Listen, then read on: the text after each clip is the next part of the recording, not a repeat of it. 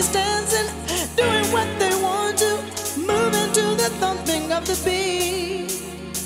Everybody's jumping, feeling what they're doing, moving in the middle of the heat.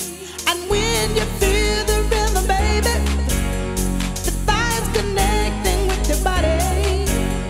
You've got to jam with the music. You can't sit down and be still. No.